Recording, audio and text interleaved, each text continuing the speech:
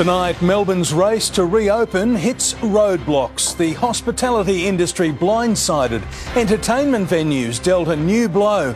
Retail pleading for a rethink. Airlines put on extra flights to cope with a Queensland holiday rush. A heartbreaking plea as the search for a four year old girl missing from WA goes nationwide. Murder charges over the death of a pregnant Melbourne mum. A six decade old power plant reduced to rubble in seconds at Hazelwood. And exclusive, a star pie going to extremes on a mission in the United States. Live from Melbourne, 7 News with Peter Mitchell starts now. Good evening. Melbourne's race to reopen is running into obstacles with the hospitality, entertainment and retail sectors all pleading for a rethink. Cafes and restaurants have been blindsided by a new vaccine deadline that's left them struggling to find staff. 11.59 Thursday night. The city's Dragon Hot Pot will finally reopen its doors. Yeah, we just can't wait. But a vaccine crackdown means they'll only be able to operate at limited capacity. Some of our staff is still not double dose, so we can only open the uh, outdoor area. Many hospitality staff thought they had until November 26 to be fully vaccinated. The Premier says their deadline is Friday. Staff need to be double double dose vaccinated. Yes. From this, from the. Yep. The easing that we've done is predicated on people being double dose vaccinated. So the industry was certainly blindsided by this change. Many uh, hospitality workers will not be able to start on Friday as they had expected. We'll continue to lobby the government uh, for some type of grace period. It's only adding to the stress of finding enough employees. Melbourne suffering a staff shortage after the mass exodus of international workers over the past 21 months. It's a crisis in the hospitality industry. Tonight, there are more than 22,000 hospitality roles up for grabs in Victoria. Most in demand, baristas, with almost 5,000 vacancies. There are more than 3,000 wait staff jobs listed, followed by bartenders and chefs. Richmond Cafe Pillar of Salt needs two full time staff. It's been pretty difficult, I think, because most venues are now looking for staff. While the Sporting Globe needs workers at its 35 venues across Melbourne. We've hired about 100 people in the last three weeks um, and still have about another 150 vacancies across all the venues. The city is preparing to reopen but still in the grip of a COVID emergency. 1,749 new cases, the lowest number in six days. But active case numbers continue to climb, now 22,476. 11 more Victorians have lost their lives to COVID, the death toll this year now 161. But in promising news, hospitalisations and ICU numbers have dropped from yesterday. Melina Sarris joins us now. Melina, the Andrews government is refusing to budge on the vaccine deadline. Mitch, the rules won't change between now and Thursday. The original timeline for first and second doses was put in place for authorised workers, but the government explained today that staff in restaurant, pubs and bars don't fall under the authorised worker category and therefore must be double vaccinated if they want to serve any customers when lockdown ends. Mitch. Melina Sarris at Carlton, thank you. And Victoria's entertainment industry has been dealt another blow after a clumsy mistake on the roadmap. Blake Johnson plans to reopen this week have been crushed. Pete, cinemas, theatres, and comedy clubs thought they were good to go on Friday to welcome 20 guests indoors, much like hospitality venues. But as you're about to see, a few mistaken words by our state government has had a huge effect. The founders of Comedy Republic aren't joking when they say they're closed due to a typo. Sunday's original roadmap said indoor entertainment venues could open with pubs and restaurants this week. But by yesterday, the word entertainment disappeared off the roadmap. No warning and little explanation. They opened the crack in the door just enough for us to get our fingers out and then slammed it shut. Eight sold out shows this weekend will likely be cancelled and refunded. After so long in the dark, it was to be a much anticipated return for live entertainment and cinemas. I think within hours of a typo being uh, up on a website somewhere, that was uh, corrected. And again, I apologise if there's any sense of that, that a sector's been included that shouldn't have been. It might be a typo, but this isn't a text to your mum. This is a government roadmap. At Fitzroy North, a new pop up vaccine clinic at a Moroccan soup bar promises food for vaccines. And $21 million will be spent helping vulnerable people get to centres like this. The Premier says vaccine passports and mandates will not come to an end on December 1, like in New South Wales. The unvaccinated will not be allowed in to most venues. This will be well into 2022. Well and truly into 2022. Why will we need a vaccination passport? if 96 out of 100 people are double vaccinated? Who are we protecting ourselves against? Matthew Guy was speaking at a perfume store, facing a tough ask to recover by Christmas. We had the bushfires, now we've had COVID. Just let us get back to earning a living. That's all we want to do. Retail can open outdoors this week, but like entertainment venues, outdoors doesn't always work. That has huge implications for small business, and to me, it says if they don't understand small business now, seven years in as a government, they'll never understand small business. Yeah, I think this is a signal that they don't really know what the plan is for live entertainment. Blake Johnson, 7 News. Victoria's COVID emergency is forcing more elective surgery to be postponed, with 15,000 patients now on the waiting list. People's lives are being put at risk because their health conditions are worsening. Today, I get told that I can't have my knee surgery. I live on painkillers, okay? I chew painkillers like you eat Mentos. Elective surgery in Melbourne is currently limited to urgent Category 1 and limited Category 2 procedures. Queensland is in demand as holiday starved Victorians snap up flights for Christmas and the New Year. Airlines are putting on extra flights to cope with the surge that comes with a warning. Queensland tourism operators are calling on holidaymakers to pack their bags. The water's warm, the sun is shining, and we're ready for you. You can come to paradise from Christmas. Uh, so get up here, holiday in the tropics, you know you need it. And Victorians are hearing them loud and clear, following yesterday's announcement by the Queensland Government that we can head north from the 17th of December. Virgin Australia experienced a surge in bookings. The most popular flights are packed with Melburnians desperate to get to Brisbane, the Gold Coast, and the Sunshine Coast. Nearly half of all bookings were for travel during December and January. Melbourne Airport is preparing for takeoff. There are 19 daily flights scheduled to Queensland when the gates open in December. I do think the airlines will very quickly scramble to add capacity. Now, we haven't got a lot of lead time, and I think that will be the big challenge, but I'm expecting to see something like 30% of normal activity uh, by Christmas time.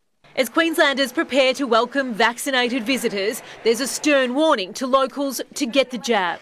Come the 17th of December, this virus will start coming into our state. The concern for travellers is the risk of getting locked out or locked in if there's an outbreak. Make sure you check your terms and conditions. Make sure you use every option available to ensure your money is protected. Well, you're seeing all the states and territories lift their vaccination rates so it would be highly unlikely. Western Australia will be the only state keeping interstate visitors out for Christmas. And for travellers with their sights set on an overseas trip, there's still no confirmation on Victoria's plan for opening international flights. Unfortunately, we're quite late to the party here. So, so the challenge then is any further restrictions means we could see ourselves flying internationally over Sydney, which I think no Victorian wants. And Mitch, late today, the Health Department announced there will be no more red travel zones in New South Wales, meaning it will be even easier for Sydney residents to visit Melbourne. From tomorrow, fully vaccinated travellers from Sydney can arrive here without needing to quarantine or test and isolate. Mitch? Jade Vincent at the airport, thank you. Melbourne schools are putting COVID safe plans to the test as they prepare to welcome back 1 million students from next week. Mike Amor is at Endeavour Hills this evening. And Mike, there's a new approach to handling outbreaks. There is, Mitch. Primary and secondary schools like Gleneagles here behind me are putting their COVID safe plans to the test with the staggered return to face to face learning. The big test comes from Friday and then next week when all year levels make their return to the classroom. And today, the Education Minister revealed just how a COVID case will be managed to cause minimal disruption. If a case happens now, um, kids are back at home for around 24 hours. We clean the school, we identify where that student has been, um, identify the primary close contacts, all the other kids come back to school, and that's in about around a 24 hour period. And I'll have more on the plan to keep students safe and in class later in the bulletin, Mitch. Mike Amor at Endeavour Hills, thank you. Now, here's a look at the state of play in Victoria currently. After more than 1,700 new cases and 11 deaths, 88.8% of Victorians have now had their first dose of a COVID vaccine. 68% are double dosed. And we're back on track to hit the 70% double dose mark on Thursday, just in time for the end of lockdown. Our 80% double dose target remains October the 31st. A nationwide appeal has been launched to help find a little girl missing from a remote WA campsite for four days. Today, the parents of four year old Cleo Smith spoke out as they pray for a miracle. Breaking their silence, hoping for a breakthrough. Yeah, we've been close by. Um, we haven't left. Just yeah, waiting, waiting for her to come home. Jake Gliddon and Ellie Smith's tearful plea to their daughter Cleo, filled with fear, but somehow clinging to hope. I know she can get through whatever she's going through. At the campsite turned crime scene, these seemingly empty shacks could hold the clues to Cleo's disappearance. Her family camping trip began late Friday afternoon at the blowholes in Macleod, around 50 kilometres north of Carnarvon. She last spoke with her parents at 1:35 a.m. Saturday when she woke up for a drink. When they woke around 6 that morning, she and her sleeping bag had vanished. She won't leave my side if I'm walking in the shops. She would, um, she would never leave that tent alone. It's three days down the track now. She uh, potentially could be anywhere. Authorities are still working on the assumption that little Cleo is alive, but now four days into the search in these conditions, if the four year old wandered off, her chances of survival couldn't be more slim. Everyone asks us, like, what, what do you need? And really, all we need is a little girl home. Today's rain slowly washing away hope of a miracle. In Macleod, Western Australia, Ben Downey, 7 News. Former American Secretary of State Colin Powell has died with coronavirus. After a lifetime of military service, his biggest mistake was in 2003 when he made the case for war in Iraq using false intelligence about weapons of mass destruction. It's a blot. I'm the one who presented it on behalf of the United Nations, uh, United States, to the world, and it will always be uh, uh, part of my, uh, my record. How painful is that? It, it was painful uh, it's painful now. The 84 year old was double vaccinated but was facing multiple health complications. Climate activists are ramping up their attack on the Prime Minister as he prepares a policy of net zero emissions for the Glasgow summit. The Nationals have conceded Scott Morrison will commit to a plan without their full support. It's becoming a daily ritual outside Parliament Extinction Rebellion protesters gluing themselves to the road, setting off flares. As inside, Scott Morrison leads government MPs into a joint meeting of the Liberal and National parties. The Nationals now accepting a commitment to net zero emissions by 2050 is near. The Prime Minister has the final call. That's why he's the Prime Minister. Even Nationals leader Barnaby Joyce knowing the writing is on the wall. We're not going to start trying to even mimic, you know, bullying the Prime Minister or coercing the Prime Minister. We understand the necessity of this. The only MP raising objections at the meeting of government parties, Queensland National Senator Matt Canavan, now privately accepting he's lost the battle, but publicly continuing the fight. The world is moving away. They're moving away from net zero targets just as we are about to embrace them. Scott Morrison knows the world is actually moving towards net zero targets, and he should now be able to commit Australia to moving with it at the Glasgow Climate Conference in two weeks' time. Labor wants to know the cost, demanding the government's modelling be released. We'll be doing that before the next election, Mr Speaker. A final decision from the Nationals, though, imminent. We will make sure that the Prime Minister of the Commonwealth of Australia has a response for, from us by, by the end of this this week. Allowing final cabinet endorsement before Scott Morrison flies out next week. Mark Riley, 7 News. Homicide squad detectives have charged the ex partner of a Bayswater mother found dead in a home nine days ago. Tegan Doling is following this case, and Tegan, the man, was in court today. It was a hospital bedside hearing for Benjamin Coman. He's been charged with killing his pregnant former partner, Michelle Darragh, she was a mother of two. The 29 year old has been receiving care in hospital after being found with life threatening injuries on October 10. Little information was heard about the case today. The tradie listened to the hearing by a phone, being held to his ear by a police officer, but he was unable to respond. The couple were together for five years and had recently broken up. It's understood Ms. Darragh returned to the home that day to pick up more belongings. More than $140,000 has been raised for the couple's two little boys, now learning to to live without their mother and with their father behind bars. Mitch. Tegan Doling, thank you. The Melbourne Star observation wheel could yet be saved. Liquidator Grant Thornton is launching a sales campaign revealing they've had a number of inquiries about keeping it turning. The 120 metre high structure still dominates the skyline, although its iconic lights remain off since it was shut down last month. Jordan De Goey has revealed the extreme lengths he went to for a trip to America, but Tim Watson, it's no holiday. Mitch, he's had to jump through hoops to get there. Mitch Cleary spoke with De Goey this afternoon, and Mitch, he's training the house down.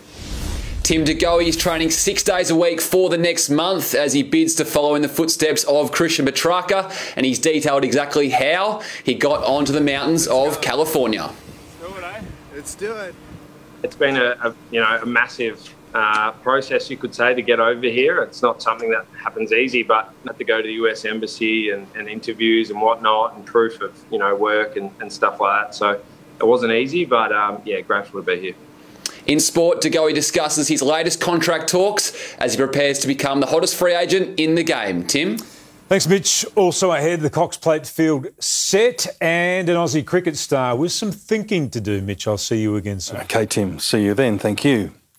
A spectacular implosion has flattened an 18 story building in the Latrobe Valley. Next, gone in eight seconds, a 57 year old building reduced to rubble. Also, tears, phone taps, and explosive accusations flow at a Labor corruption probe. Action at last on one of Melbourne's most dangerous intersections. I'll have the weather live from Endeavour Hills with some good news. Thanks, Jane. Also ahead, how to book a Christmas holiday with confidence. Travel tips from industry insiders. A Melbourne mayor has been reduced to tears, telling an anti corruption probe he hopes the Labor Party can change. The hearing was played explosive phone taps, revealing a former minister used racism to help hide his secrets. When reporters started digging on questionable donations to a Somali community group, Rick Garotti and Adem Somyurek used racism to shut them down. Go back to the look, this is a regret, regretful that you're doing this to this community. The African community's got a lot of problems and it's regretful that you're sti- further stigmatising the African community. Go away. Well, I might mention the Black Lives thing at a time now Black Lives Matter and our, our young people are struggling with their identity. IBAC was told Dr Hussein Haraco, the founder of the Somali Australian Council, pocketed most of a $75,000 grant, a reward for branch stacking. Go racism on them, right? Banyule City Council awarded the same group grants which were misused. The mayor breaking down when quizzed if he was ashamed and embarrassed about his conduct. Hopefully, for a young you know, person coming through the ranks in the future, it's a better culture for them and they don't get caught up. Chanel Vella, 7 News. One of central Melbourne's most notorious intersections is about to undergo a multi million dollar safety upgrade. Estelle Griepink is in South Bank, and Estelle, it's been a long time coming. Well, Mitch, residents first raised concerns about this intersection two years ago. Five pedestrians were mown down here back in May when a B double truck tried to take the corner and instead ended up on the footpath. Back then, residents described this as an accident waiting to happen. But now they finally have some action among the safety upgrades for this intersection, the footpath being widened so there's more room for pedestrians to walk. And as for the pedestrian crossing itself, it will be moved a little further away from the busy corner. The City of Melbourne and Uh, the City of Melbourne and the state government, sorry, also say they're going to be giving more room for cars and trucks to turn. And the South Bank Residents Association has welcomed these changes. They say it will provide more protection for pedestrians. Mitch? Estelle Griepink at South Bank, thank you. The widow of former Richmond footballer Shane Tuck wants a coroner to investigate his treatment by club doctors. Catherine Tuck wants to know why her husband was treated so poorly and badly. The 39 year old took his own life in July last year. An autopsy confirmed he was suffering from concussion related illness, CTE. State coroner Judge John Cain says he's not inclined to get involved in a blame game. A spectacular demolition has marked the end of an era in the Latrobe Valley. The last piece of the Hazelwood power plant came crashing down, paving the way for an overhaul of the site. 500 kilograms of explosives ready to go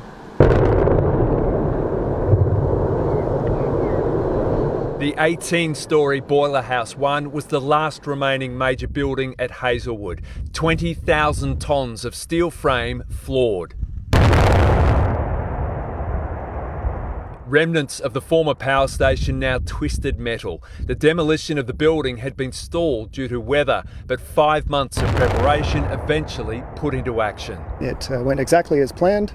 Um, and we've got some dust and noise monitoring equipment sitting around the mine void, and we'll make those results available to the community in the next day. Shut down four years ago, Hazelwood generated up to a quarter of the state's electricity for almost 50 years. It also emitted vast amounts of greenhouse gases and used huge volumes of water. The enormous former brown coal mine will be the focus of the next big step in rehabilitating Hazelwood. The owners will submit plans to government before the end of the year to fill it with an estimated 650 gigalitres of water. Water really is the best option for the mine void. Following the demolition of eight chimneys and three other boiler houses, this was the last blast at Hazelwood, once one of the state's most crucial assets, now bound for recycling. It's a bit of an end of an era. Cameron Bow, 7 News. Jane Bunn joins us now from Endeavour Hills. And Jane, it sounds like our weather's going to be something of a blast. Mitch, it is turning nice. This is the last of the cool and mostly cloudy. From tomorrow, we begin a stretch of warmth and sunshine. Today only reached 16, but tomorrow should be about 7 degrees warmer. Once early cloud clears, there's bright and warm sunshine that should feel absolutely lovely. And that continues on Thursday and Friday too. Then there is another change to cold and wet. I'll show you when that'll hit after sport. Mitch. Thanks, Jane. Coming up tonight, a backlash over rapidly disappearing bank branches. Also, what caused fire to erupt on a metro train? More parcel delivery delays as drivers prepare to strike. Mining billionaire Twiggy Forrest unveils a world first truck. And the yellow wiggle hands over her skivvy. A train has burst into flames at Geelong. Thick black smoke billowed from the old disused carriage, which was in a North Shore yard. Other trains in the area were forced to slow down, but services continued. There were no passengers on board at the time. The move to online banking has soared during the pandemic, meaning more branches are closing. The banks say it's customer driven, but the staff union says it leaves many customers with no choice. While many outlets are dusting off the cobwebs after lockdowns, others have already farewelled their final customers. It's important for a village to have that beating heart, which is the bank. Since the start of the pandemic, more than 350 bank branches have closed nationwide. The Commonwealth has closed 95 this year alone, ANZ 52, Westpac 46, and the NAB 26. The Banking Association says the closures are keeping pace with consumer trends, accelerated by COVID. Its research shows 80% of customers now bank online, with more than a third using digital wallets on their smartphones. Australians now overwhelmingly turn to online banking for simple tasks like checking a balance or paying a bill. But when advice is needed, most still prefer face to face help. Your small businesses who are trying to recover from COVID, they can no longer, you know, duck up the road and do their banking. Three and a half thousand post offices now offer on site banking, but the retreat of branches will likely continue. Australians are going to use less and less cash. They're going to rely more and more on digital wallets. Gemma Acton, 7 News. We're being warned to expect major delivery delays on Thursday with drivers from three major courier companies planning to strike. Workers from FedEx, StarTrack and alcohol transport business BevChain will walk off the job. Backed by the Transport Workers Union, they say they'll only back down if their demands for better pay and job security are met. Mining billionaire Andrew Forrest has admitted he's one of the reasons climate change exists.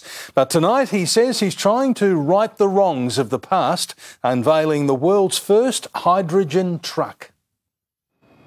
This is the truck Twiggy Forrest wants the world to see. Built in just 130 days at Fortescue's Future Industries plant on the outskirts of Perth. Will be completely silent. You'll see no fumes the only exhaust will be 100% pure water. These mighty machines have helped make Twiggy Australia's richest man, but he now admits that immense wealth has come at a cost. I'm a heavy carbon emitter. I am the reason why we have a global warming planet. This is about taking an opportunity to fix a huge problem. And he says it's time our leaders got on board. I'd say the person who, who keeps coming up with false sound bites and is still listened to is Matt Canavan. The Fortescue boss has announced plans to build the country's first hydrogen hub in the National Senator's backyard in Queensland. People know in their gut that there's something a bit sus about this net zero idea, where a whole lot of banks and rich people make money, but they may lose their job. The revolution won't end with these trucks. The team is already working hard on another world first green fuel powered locomotives. After that, they'll turn their attention to their enormous ships. That's our future, that's Australia's future. Tim McMillan, 7 News. There's a major shake-up at the Wiggles with Emma Watkins passing on the yellow skivvy to 16-year-old Tsehay Hawkins. The newest member will hit the stage in a national tour joined by the original cast. The yellow and first female wiggle. I like to eat. Emma Watkins is hanging up her bow. I've had such an amazing time at the Wiggles. 11 years with the Skivvy supergroup. Inspired a whole generation of children, especially girls, to uh, get up and dance. Now I'm about to finish my PhD, so I'm going to be devoting more time to my research project. Bringing together performance and sign language. Filling those dancing shoes. Hey, Tsehay. The youngest wiggle, 16 year old Tsehay Hawkins. I am so thrilled. I'm over the moon. Born in Ethiopia, adopted in Australia, a little big shot at age 12. and world champion Latin dancer, inspired by the Wiggles. That's how I started dancing. My parents were playing Wiggles and I was dancing around the house. Joining the new lineup on tour from February, The Originals, doing shows for adults who remember them as kids. After collapsing at their last performance, Greg is back, and after 30 years, still the Blue Wiggle. I'll be playing one, two, three shows in the daytime, and then the fun begins. Paul Kadak, 7 News. Schools across Melbourne are preparing for more students to return. Mike Amor is at Endeavour Hills. Mitch, the staggered return to class is a big test for our schools. Up next, a first hand look at what's being done to keep our kids safe.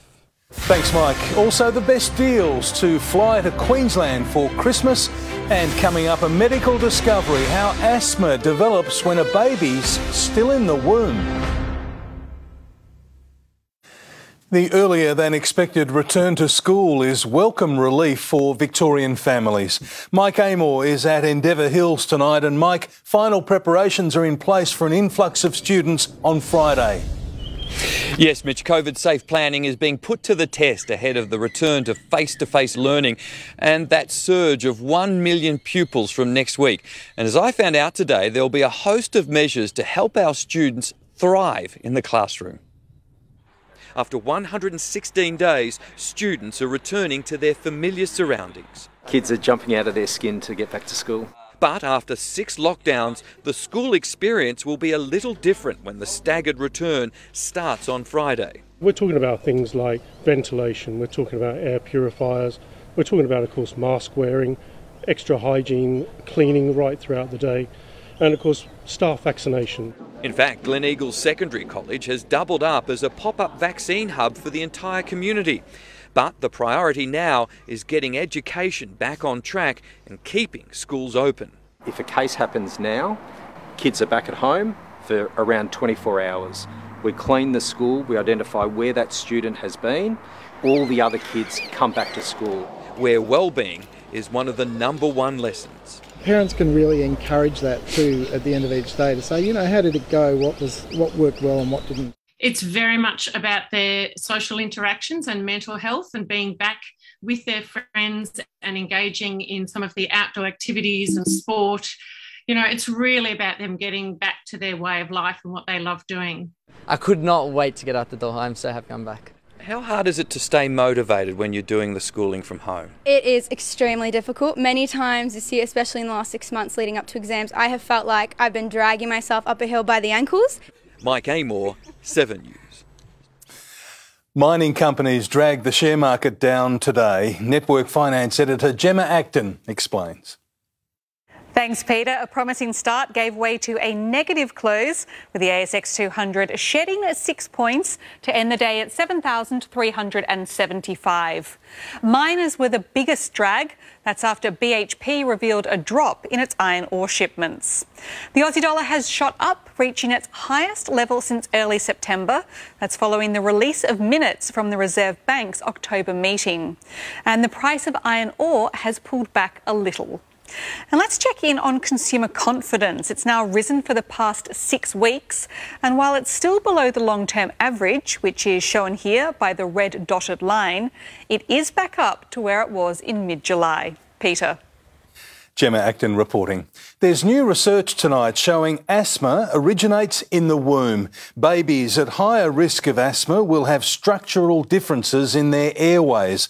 Researchers say it highlights the need for pregnancy lifestyle changes to help reduce the chances of developing asthma. One in nine Australians suffers from the condition. Victorians can have confidence to book a trip to Queensland with airlines promising flexible fares and great deals. Tourism operators are being swamped with calls as the Sunshine State prepares to welcome us back.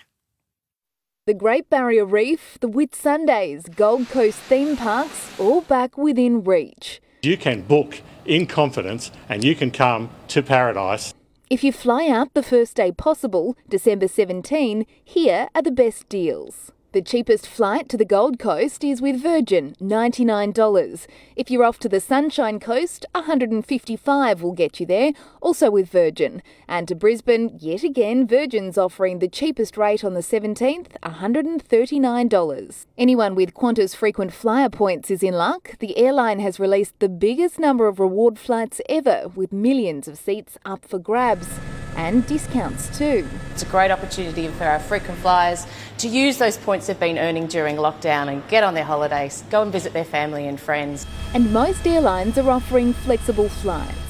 If you're ready to get out of here, here are a few tips for COVID safe flying. Before you book, check the entry requirements for that state. On the day, check in in advance to save having to queue up. Wear a mask, use the QR check in code system, and have your documents ready to go. Tourism operators say bookings are already rolling in. Get in early and also consider the destinations that you may not have thought of before. Pack your bags, Victorians. Get ready to fly. Christy Cooper, 7 News. Sport is next with Tim Watson. And Tim, a Magpie star wants to emulate a Premiership hero. Mitch, you're going to love this. Jordan De Goey is setting himself up for a big year ahead. Up next, the interview from California on why he headed overseas for the off-season. The Cox Plate favourite with an eye-catching gallop. But there's one trainer keen for more Valley success. Trouble for David Warner ahead of the T20 World Cup. And an awkward training session for Ben Simmons at the 76ers. Welcome back. Collingwood superstar Jordan De Goey is going to extremes to kickstart what he hopes will be a career best season. Speaking from California, De Goey says he wants to emulate a premiership hero and set himself up for the biggest contract of his life. Out of his comfort zone and training six days a week on the other side of the globe. I wouldn't say it's enjoyable. I think it's definitely what I need and, and what's going to get the best out of me. Jordan De has teamed with renowned US fitness guru Johnny Louch, combining intense gym work with three hour mountain bike rides at more than 3,000 feet. Obviously, there's a lot of talk about, about how I'm travelling at the moment. Um, and to be honest, yeah, I'm feeling really good. Obviously, this is a complete different side of training that I've, I've never done before. He pushes himself. Like I've taken athletes on rides and you know they quit and he doesn't quit after a rigorous process with the US embassy De Goey was granted access to fly overseas through his partnership with Monster Energy it worked out that I could come over here, fulfill my commitments, my contractual agreements, um, and get all the work and photo shoots and whatnot done over here. Now admitting he's in the best shape of his career, De Goey hopes to follow in the footsteps of Melbourne Premiership hero Christian Petracca and turn an impressive end of 2021 into a dominant 2022. To be able to see that off close, mate, um, it just makes me, you know, want to level up my game, I guess you could say, and the start of that's getting over here and pushing myself to the limit. And as he prepares to negotiate the biggest contract of his career as a free agent, De Goey has appointed brother-in-law and firefighter Ryan Vague as his new agent. Anyone knows that their last 12 months of the contract is, you know, an important time and for me, really, it's you know it starts from now with this preseason. There's no reason to rush it at this stage. Obviously, there's still a lot, of, lot of stuff going on, um, and you know we'll see in the future. Mitch Cleary, Seven News. The field is set for one of the more intriguing Cox plates in recent years, with race favourite Zaaki firming after an ideal barrier draw. But some of the biggest names in racing are eyeing an upset on Saturday. For close to four months, Zaaki has been declared the one to beat for this year's Cox Plate. The Sydney-based star, trained by Annabelle Neasham, looks ready to deliver on the bookie's promise. Well supported into $2.60 after drawing barrier six. But there are nine challengers waiting to pounce, including a champion mare whose trainer knows a thing or two about winning at the Valley. From my point of view, it's a very interesting race. Um, there's no dominant dominant horse this year. Chris Waller, confident, Very Elegant, can respond after a disappointing Turnbull Stakes earlier this spring. Basically, we put her down to being a little bit flat. She's eating very well. She looks great, and we think she's bounced back. A Cox Plate victory would push Very Elegant into rare air, going ahead of the Great Sunline with over $12 million in prize money won on Australian soil. Waller will be hoping for some help from above in the coming days in the form of some rain to help soften up the Moonee Valley track, but he won't be the only Cox Plate contender looking for some cut in the ground. Jane Bunn will keep us up, updated, uh, but hopefully she's saying it's going to rain. Ciaron Maher saddles up international raider Gold Trip with veteran Damien Oliver on board. He's got some great form overseas, and uh, you know if the rain comes at their forecast, he doesn't mind soft track either. So you know he's um, I'm really pleased with him, and I'm looking forward to riding him on Saturday. Hopefully, the last Cox Plate at an empty Moonee Valley for some time. Andrew McCormack, Seven News. To cricket now, and there are worrying signs for David Warner ahead of Australia's T20 World Cup opener on Saturday. He was dismissed for a golden duck in a warm up game against New Zealand, and he's on notice from the new national selector ahead of the Ashes. It is sort of clean slate. You know, for me, absolutely no one in my in my view, um, past or present, you know, has has the absolute right uh, to be uh, to be in the team. The Aussies chased down 159, and while Glenn Maxwell was rested, he says the IPL helped him reach peak form. Every day I was I was finding something new out. I was being a sponge to um, Virat and AB, and yeah, it just makes you feel confident, makes you feel happy. The Aussies face the Kiwis again tonight. The Melbourne Stars have suffered a second straight defeat. The Hurricanes posted 152 and the run chase didn't start well. Elyse Villani lasted just two balls and they never recovered. Meg Lanning on strike and it's back-to-back wickets. She'll remember this one because it is the big one, that of the Melbourne Stars skipper. The Stars bowled out in the final over for just 89. The chances of Novak Djokovic defending his Australian Open crown are fading by the day. In a statement, the world number one is refusing to reveal his vaccination status, saying it's a private matter and inappropriate to even ask. I don't think that the person you indicated, or any other tennis player, let's not personalise it, any other tennis player or golfer or, uh, or, or Formula One driver will even get a visa to get here.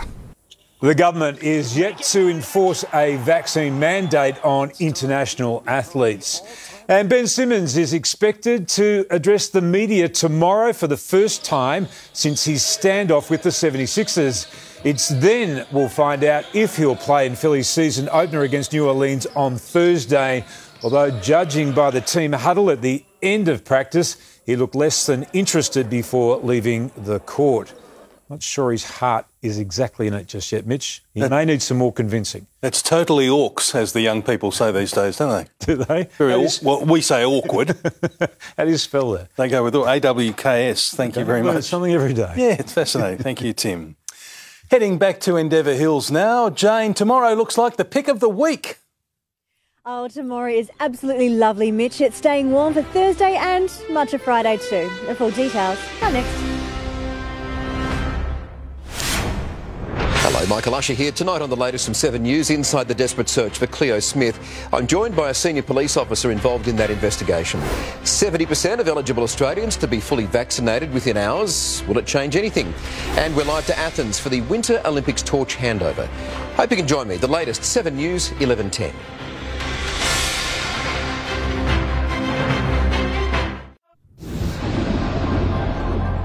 Hello again on another cool and mostly cloudy day, but this is the last one in this stretch. We'll change to warmer sunshine from tomorrow. The city began on 9, it was as cold as 5 in outer suburbs at first. Then this afternoon, 16 to 18 around town. Showers began passing through late morning and continued through the afternoon. They were moving quickly, pushed in on southeasterly winds, so when it rained, it was just for a few minutes, then dry weather returned. Now, these showers have now completely dried up.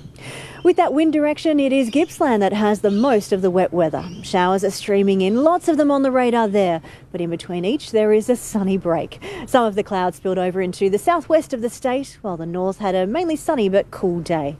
The wet weather is coming from a low just off Gippsland, connected to a trough that is running up the east coast. But there is a high that is just to our south, and that is taking over control of our weather from tomorrow. That high moves to our east, and that means we're turning warmer with lots of sunshine. In Melbourne, Wednesday should be absolutely lovely. Sunny and about 7 degrees warmer than today. The warmth continues on Thursday and Friday too. But of course, as soon as we get out of lockdown, that is when our next weather change hits. Expect a warm day on Friday, about 24, but around 5 pm there's a gusty wind change, and that leaves us cold for Friday night with wet weather too. So if you're heading out on Friday night, do be prepared for cold and wet weather after a lovely day. Around the nation tomorrow, Brisbane has the risk of a severe storm, otherwise partly cloudy and 27. Lots of showers in Sydney, also the risk of a storm. Adelaide heating up, rising to 30. Perth has howling winds and lots of showers. To Victoria, Gippsland still has showers. They'll ease there in the afternoon. Otherwise, there is a fog and low cloud. They'll clear during the morning to lots of warmer sunshine in moderate east to northeasterly winds. Just some wispy high cloud coming in from the west. Closer in, a foggy low cloud clears most areas before 9am, but in Geelong and Torquay it could last until midday. But once that has moved away, it is a lovely and sunny day, letting temperatures jump up. The city should already be 20 degrees by lunchtime, a top of 23. Lovely Wednesday, warm and sunny. To the eight day outlook, the warmth does continue for the rest of the week on Thursday about 24. Lots of sunshine, all dry. On Friday, I'm expecting 24 as well, but there is a big change due late in the afternoon. Temperatures will plummet. There's lots of showers moving through a wet Friday night. So Saturday, 17, Sunday, 16, the odd shower moving through. Then we will warm up again next week by Tuesday, 22. Then Wednesday, it could even reach 26 degrees. So after early cloud, it's a lovely day tomorrow. Warm sunshine, letting it rise up to 23. And that warmth continues until that next big change arrives later Friday, Mitch. Enjoying the roller coaster ride. Thank you very much indeed, Jane. Now, here's what's on Sunrise tomorrow. Thanks, Mitch. Tomorrow on Sunrise, goodbye Melbourne, hello holidays. Get the jump on Christmas travel, where you can go, when you can go, and what's booking up fast. See you in the morning, Victoria. And that's the way it is this Tuesday, the 19th of October. Thanks for your company. For now, from the team, good night.